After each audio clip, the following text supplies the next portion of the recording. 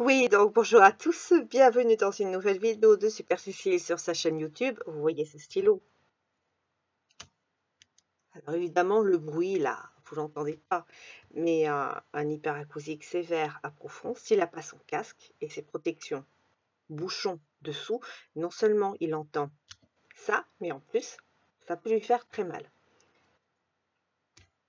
Donc, si vous êtes hyperacousique et que vous suivez mes vidéos, j'espère que vous pouvez quand même garder mes bouchons de façon à que vous puissiez entendre ou lire sur mes lèvres sans avoir trop mal aux oreilles. Alors, Super Cécile, elle a repris l'écriture. En fait, elle n'a jamais vraiment arrêté, mais il y a des périodes où je suis plus productive et créative que d'autres. Euh, tout cet été, je vais continuer mes blogs, je vais continuer à écrire. Ça va être euh, du grand Super Cécile dans ce sens où ça va être très brouillon, où il va y avoir des feuilles partout, il va y avoir euh, des livres en cours de lecture euh, aussi partout, il va y avoir un max de séries télé et les grands classiques que nous connaissons tous. Hein On a eu les Louis de Funès il n'y a pas longtemps, maintenant c'est reparti avec les Angéliques. Je me suis revue en sous-titrage hier avec plaisir le film Tamara, adapté de la bande dessinée du même nom. Et je vais essayer aussi de trouver un créneau pour pouvoir sortir, partir, me balader, faire du répit dans le bruit, quoi. Donc, euh, soit très très tôt le matin, soit tard le soir, soit à l'ombre, un jardin, pardon, un jardin, un parc, quelque chose.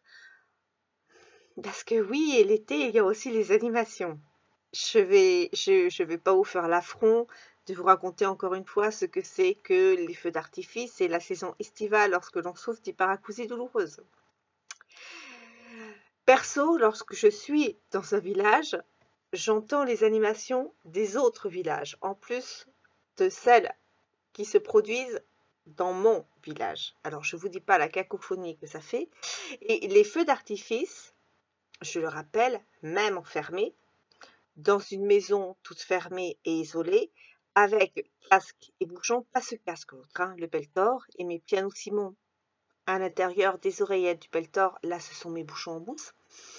Et ben donc je peux entendre un feu d'artifice 30 euh, km. Alors c'est marrant, c'est pas cru. Mais euh, je m'en fiche un peu parce que ceux qui ne me croient pas, c'est ceux qui considèrent que l'hyperacousie douloureuse est une maladie imaginaire. Sauf que non, l'hyperacousie douloureuse existe vraiment ce n'est pas une maladie imaginaire et ceux qui se moquent de nous, eh ben, j'espère qu'un jour, ils ne seront jamais touchés par l'hyperacousie douloureuse.